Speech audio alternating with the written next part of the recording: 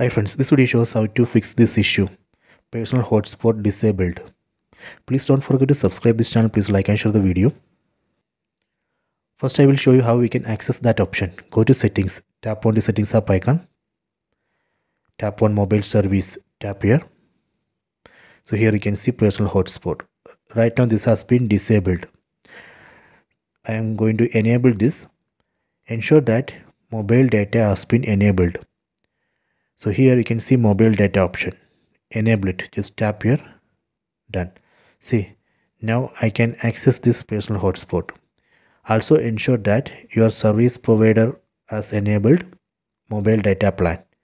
If you don't have mobile data plan then you you won't be able to use this personal hotspot.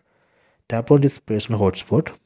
Here you can change password of the personal hotspot. Here you can allow others to access this personal hotspot so this way we can fix that issue. You can try this. I hope you have enjoyed this video. Please take it